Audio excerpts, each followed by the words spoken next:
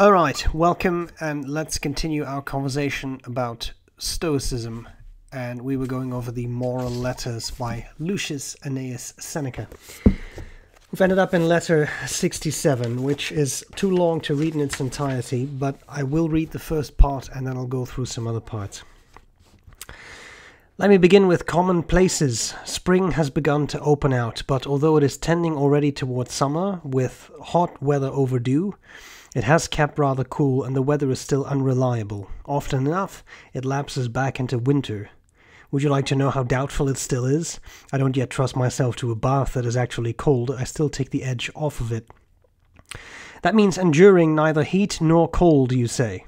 Quite true, dear Lucilius. My time of life is satisfied with its own chill. Even in midsummer I can hardly get warm, and rarely do I shed a garment.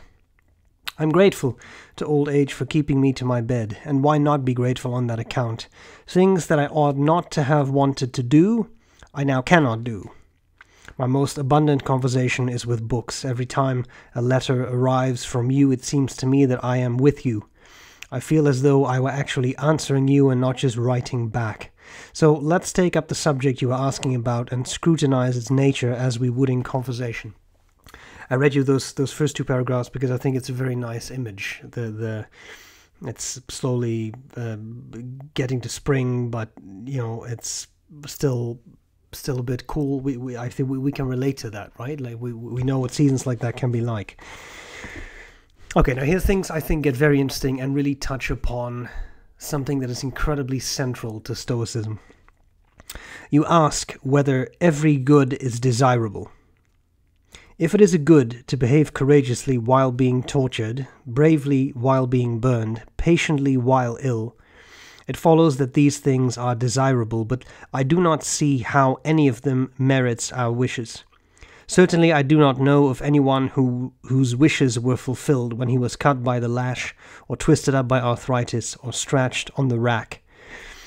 This was a quote, so I'm assuming that Seneca was quoting Lucilius's letter here. Make a distinction, dear Lucilius, and you will realize that there is something choice-worthy in these things. I would prefer to remain untouched by torture, but if I should ever have to endure it, I will wish to conduct myself courageously, honorably, boldly in that situation. I prefer, and why not, that no war should come my way, but if it does, I will wish to endure with dignity the wounds, the hunger, and anything else that wars necessarily bring with them. I don't want to be ill, I'm not crazy, but if I should ever have to be ill, I will wish my behavior to be neither intemperate nor unmanly. So it's not the discomforts that are desirable, but the virtue with which you bear those discomforts. Okay, um, I'll do I'll do one more paragraph and then I'll talk a bit about it. Some adherents of our school hold that the courageous endurance of all such things, while not to be shunned entirely, is nonetheless not desirable because wishful pursuit should be directed toward what is thoroughly good, tranquil, and set beyond all annoyance. I disagree. Why? First, because it is impossible for anything to be good without being desirable. Second, if virtue is desirable, then there is no good without virtue, then every good is desirable. Third, even if torture itself is not desirable, the courageous endurance of torture is desirable. This really is a very central aspect of Stoicism, because this gets into the territory of you cannot necessarily control what happens to you but you can control how you react to those things as they get to you, as they happen to you. And that is not always easy. I will give you an example, a historical example of a case where that was absolutely not easy. Now, the letter goes on for about two and a half more, well, a little under two and a half more pages. But here are a couple of things that I have found very interesting in what Seneca is writing. Make the distinction, as I said, and there will be nothing to lead you astray, for it is not suffering torture that is desirable, but suffering it courageously. That is what I want, to act courageously, and that is virtue. But who has ever wanted that for himself? Quote, Some wishes are openly expressed in that they concern particular items. Some are latent in that many things are included in a single wish. For instance, I choose an honorable life for myself, but an honorable life consists in a variety of honorable actions. I skip a little bit. When a person endures torture courageously, he employs all the virtues. Perhaps one of them is out front and most in evidence, namely patience. Still, courage is there, which is the basis of patience and perseverance and endurance. Intelligence is there, without which no plan is put into action, and which urges you, when you cannot escape something, to bear it as bravely as you can. Constancy is there, which cannot be dislodged from its post, which never lets go of its purpose, whatever force be applied. The whole indivisible assembly of the virtues is there. Whatever is honourably done is done by a single virtue, but in accordance with the counsels of the assemblage. But whatever is approved by all the virtues, even if it appears to be done by a single virtue, is desirable. That really emphasizes the point of the most important aspect is virtue, right? To, to Stoics, Stoic ethics being a type of virtue ethics, the most important thing is virtue. Do the right thing with wisdom and courage and temperance, and the fourth one that I don't remember wisdom and courage and justice. And then you are you are being virtuous, and that is the most important thing because if you are being virtuous, if you are doing the right thing every time, how could you really be unhappy? You're doing the right thing every time, right? Okay, I continue. I skip a bit. At this point, our own Demetrius comes to mind, he who calls the life free of care, without any assaults of fortune, a dead sea. To lie in undisturbed calm, with nothing to rouse yourself toward, nothing to strive after, nothing to denounce or contend against, testing the firmness of your mind, that is not tranquility, it is enfeeblement. Attalus the Stoic used to say, I would rather have fortune keep me in its encampments than in luxury. I am tortured, but courageously, it is well. I am slain, but courageously, it is well. Listen to Epicurus, he will say also, it is pleasant. I, however, will never call such a stern and honourable deed by so soft a name. And here I think he sums this up beautifully. This is the, the very eloquent Seneca that we love, because this really sums up Stoicism in a single line, really. I am burned, but undefeated. Why should this not be desirable? Not because the fire burns me, but because it does not defeat me. Nothing is more excellent than virtue, nothing more beautiful. Whatever is done at its command is not only good, but desirable as well. Okay, f- forgive the, the many passages I read, but I, I think they all raise the same point. The most important thing in life is virtue, doing the right thing. And by doing the right thing, how could you not be happy? You are doing the right thing, you're doing what you know is right. But this last sentence, I think, really is beautiful. I am burned, but undefeated. Why should this not be desirable? Not because the fire burns me, but because it does not defeat me.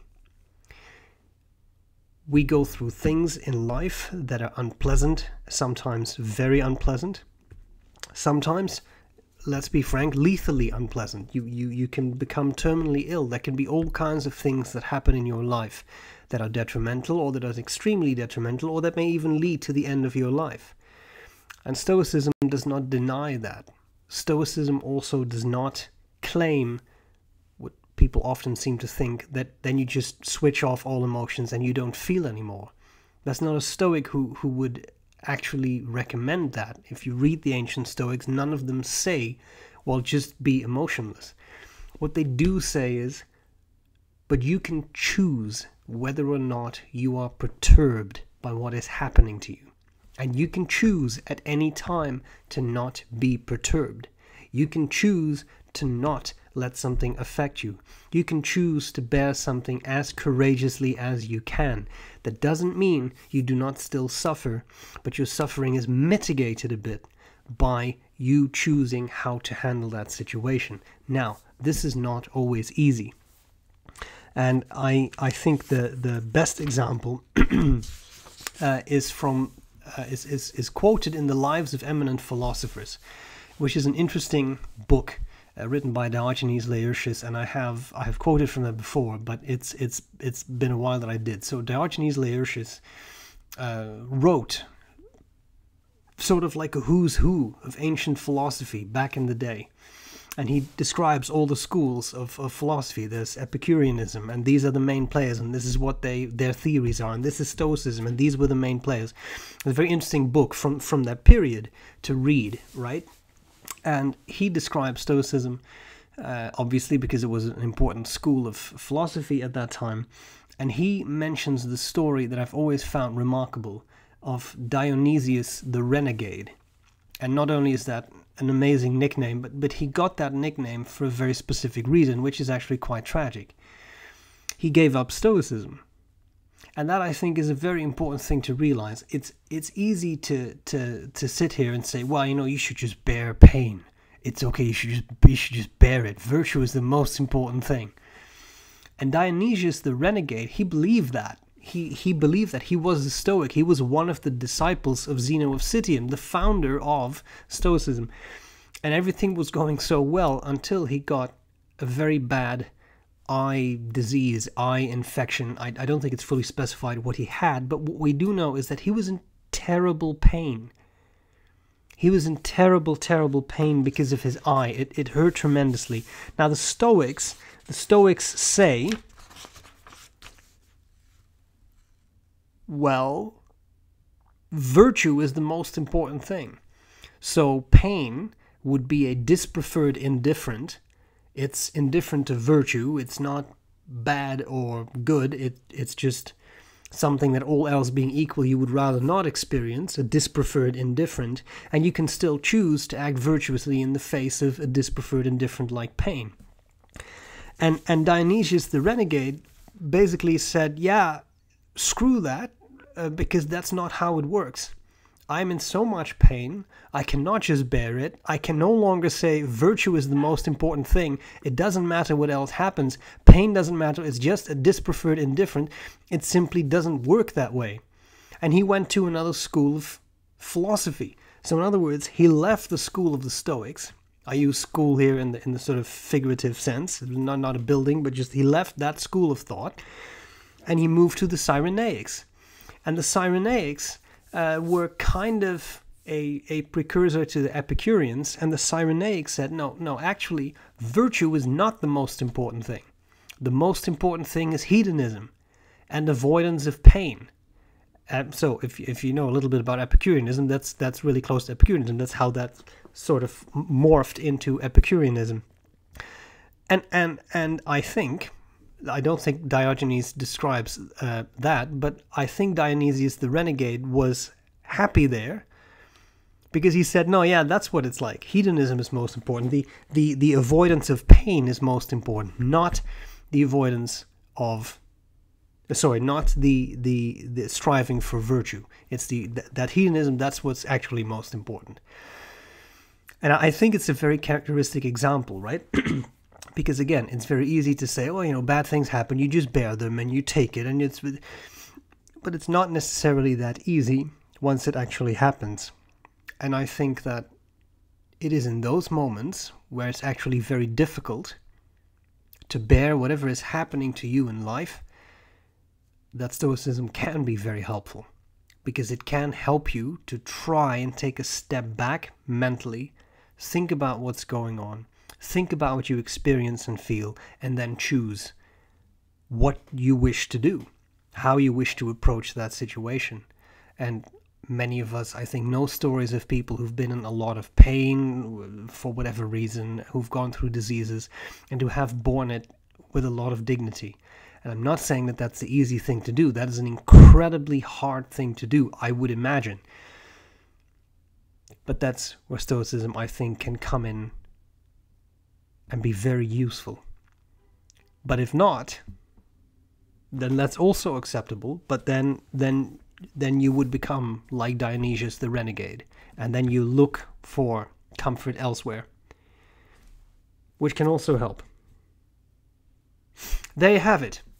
This was letter 67. I hope this was useful. Let me know what you think. Let me know what you think about Dionysius the renegade and his thinking and how you would approach a situation like this. I'll gladly see you next time. More talk about Stoicism. Bye.